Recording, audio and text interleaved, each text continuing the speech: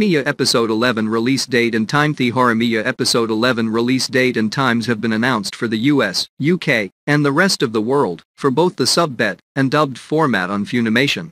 Here's when the new Horimiya episode release time and date is in PT, Eastern Time, GMT, set, et, and more. When is the Horimiya episode 11 release date? The Horimiya episode 11 release date is March 21, 2021. Here is the Horimiya episode 11 premiere, time 7.30 p.m. PT 10.30 p.m. ET 3.30 a.m. GMT. March 22 4.30 a.m. set, March 22 2 p.m. at, March 22 head to the Funimation website or app at the above time to access the simulcast. This is the best way to watch the new episode as soon as possible, meaning no spoilers and the ability to see it first alongside fellow fans of the show. Horimiya isn't yet available on Crunchyroll. Funimation currently has the exclusive on where people can watch it. If Horimiya episode 11 doesn't appear immediately, give the website or app a refresh to force the listings to update and appear. What is the Horimiya episode 11 English dub premiere date?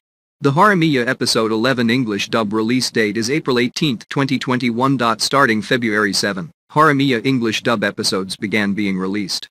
With one episode being published per week, this means the Episode 11 English dub will release on April 11, 2021.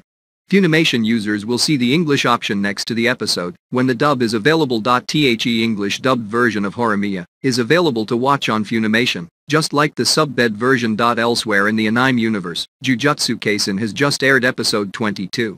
Here's when episode 23 is scheduled to land.